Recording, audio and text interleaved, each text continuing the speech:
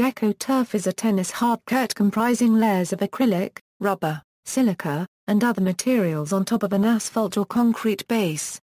It is manufactured by Decosystems, which is a division of California Products Corporation which also manufactures Plexipave, based in Andover, Massachusetts.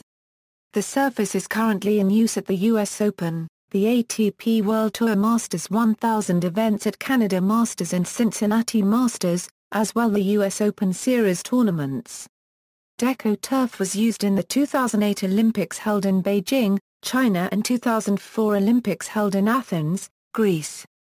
See also, Plexicushion, Rebound Ace Pro, Australian Open, US Open, References. External links, official website.